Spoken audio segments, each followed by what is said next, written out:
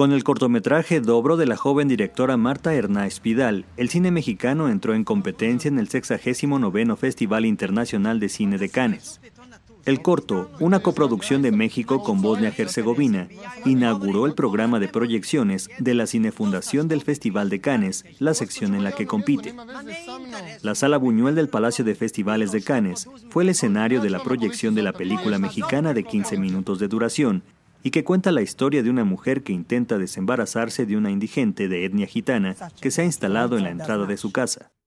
Dobro, ok en lengua eslava, es un cortometraje que representa la participación del cine mexicano este año en competencia por premios en Cannes, en una edición en la que no fue seleccionado ningún largometraje azteca como en años anteriores.